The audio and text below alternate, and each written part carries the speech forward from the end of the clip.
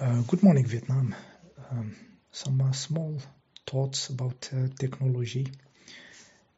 What is really happening? Uh, what the future is dragging?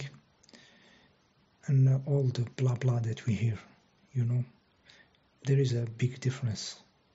I give you an example. Uh, I needed a bank account. I opened a bank account from my phone um, the bank has a biometric of my face because I was asked to show my face to the software of the bank. And uh, and then I have a bank account uh, very powerful with access to many products. And uh, if I reinstall the software or I change the phone I just show my face. Okay I show my face. Yeah so a biometric.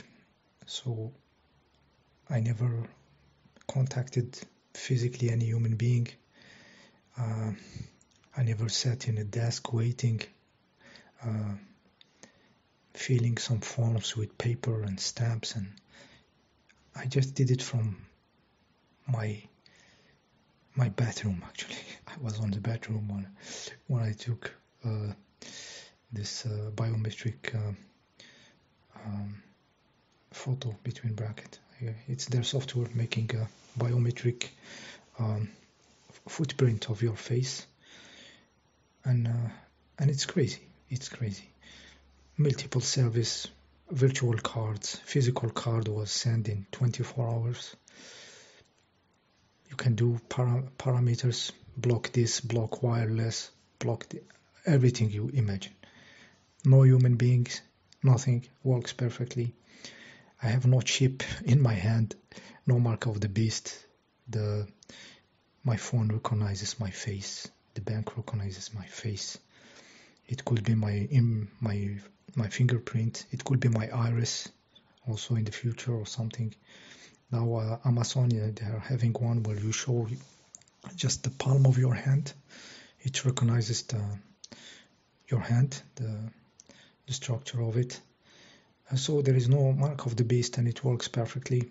So if some, for example, if somebody has some uh, some health uh, data and uh, and he's he's like uh, on the floor, you know, and uh, his data is somewhere on a blockchain or something, they just scan his hand and the hand is a unique signature and they have access to his data so it, all this blah blah about um, ship RFID and stuff, it's kind of uh, becoming ridiculous. The, the ship was put into animals, you know, uh, and now we have we have phones that recognize perfectly my face. I did it once in the night. I reinstalled the software.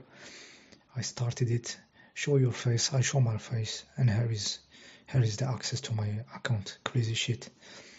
Uh, so this uh, this ship, like I said, they were put into into the animals, uh, and now with the level of technology, we don't need this ridiculous stuff.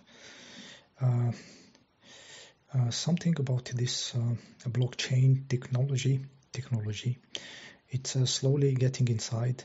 When I speak about when I talk about blockchain, I'm not referring to Bitcoin or coins.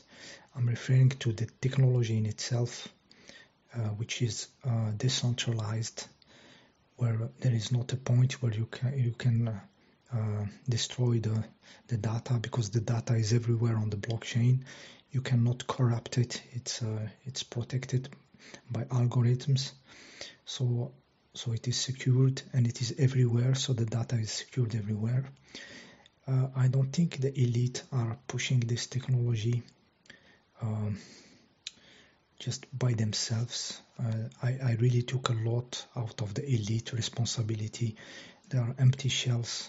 really, I'm, I'm now very sure that they are following uh, something coming from the future, which is the point of consciousness we put in the in the future, and they just just fulfill the the, the stuff to go there. Uh, they cannot help it. So this technology I don't think it's pushed by the elite. Just uh, they may push it, but they may not understand why it is going there. Something is dragging it from the future. Uh, like I said, um, if somebody is in the, in the, floor of the street, he fell, and you need to know his uh, data sheet, data of um, of his health, for example. Uh, if he has it on a blockchain, uh, you just uh, scan his his hand or something, and you will access if he has this service, for example. So all this bullshit of RFID chip, it's not needed. It's not even needed. It's bullshit. Uh, your, your, data, you don't have it. You don't need to have it on a, on a chip in your skin. You know, and uh, and, and encryption could be uh, a key of opening could be your biometric um, uh, footprint. It could be your voice. Yeah, it could be anything. You know, uh, anything can be. Uh, you can make a profile of any biometric data and have a unique human being um, key key to access to that. Yeah, so this uh, RFID sheet is um, is uh, obsolete. It's ridiculous. So I said this uh, blockchain is is um, is secure and uh, it allows um, the network to be very strong, the data to be strong. I'm not talking about uh, about coins. I'm talking about if humanity put books, um, science knowledge, patents, and uh, this kind of stuff on the data. You know, on a on a blockchain it becomes very secure you cannot destroy it because you, have, you will have to destroy all the computers that have this blockchain so uh, somehow this blockchain is making uh, the humanity uh, cataclysmic proof or a catastrophe proof if a meteorite hits one side of the planet and the data of the humanity is in blockchain, uh, it will still survive. The data will survive because it's uh, shared everywhere.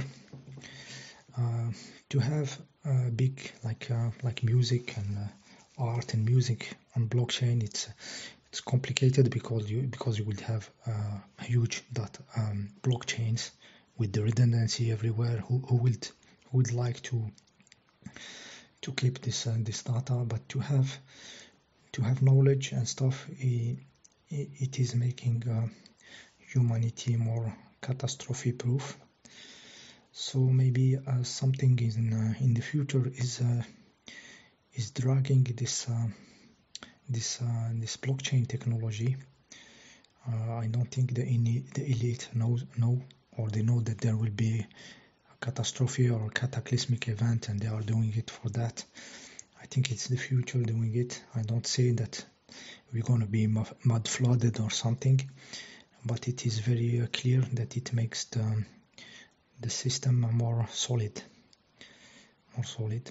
Uh, for now, like for the music and the and the videos, they are putting them on storage, and uh, if somebody want to own something it is just pointing to a file. It is not really in the blockchain. They are still they might go to toward this direction with the new protocols that can really uh, make uh, big big data like music in uh, on the blockchain. And in this case uh, it's even more and more decentralized uh, even for uh, for the big data the videos and stuff and this is really uh, interesting. It is like the new uh, Noah's Ark for uh, keeping uh, this humanity in case uh, uh, something big happens. Even if a war happened in a country and it's totally destroyed, the accountancy and everything that happened will be still available because it will be decentralized in all the other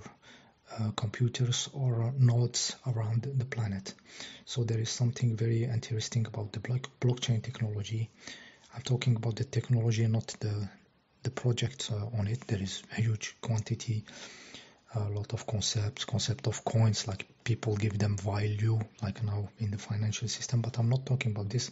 I'm talking about the technology in itself and it, what it can do, and uh, what is what it is slowly doing, which is uh, catastrophe proofing uh, the humanity. So this was my um, my video about uh, the blockchain, possibly the new Noah's Ark. See you next time.